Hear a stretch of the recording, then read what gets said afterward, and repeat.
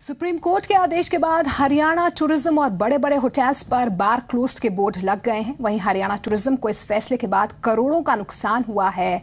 Hotel मालिकों को कर्मचारियों को सैलरी देना भी मुश्किल हो गया है। ये है हरियाणा के होटल और बार। एक वक्त था, यहाँ लोगों की भीड़ हुआ करती थी। लेकिन आजकल सुनसान समंजर है।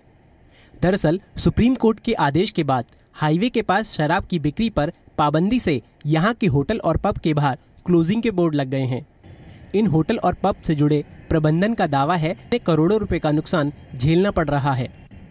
बिली जगह तीस लाख रुपए पर ईयर घाटा होगा,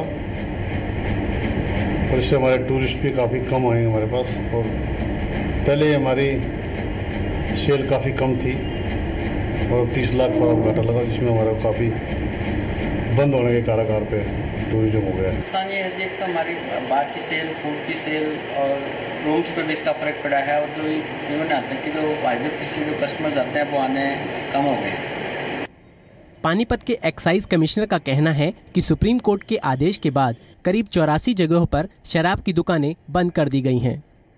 सुप्रीम कोर्ट के अभी आदेश आए हैं माननीय सुप्रीम कोर्ट के आदेश जो 500 मीटर के के लिए हैं उनको ठेकों को लेकर के वेंट्स को लेकर के, उसकी आदेशों की पूरी पालना हम करवा रहे हैं, कर रहे हैं और हम देख रहे हैं कि भी कोई भी ऐसी जगह, कोई भी वेंड या शॉप या ठेका ना खुले जो उनकी सुप्रीम कोर्ट के आदेशों की पालना ना करता जानकारी के मुताबिक, पानीपत के सत्रह गाँव की पंचायतों ने भी एजेंडा पास कर गाँव में शराब के ठेके नहीं खुलने देने की बात कही है। राकेश भियाणा, जी मीडिया, पानीपत।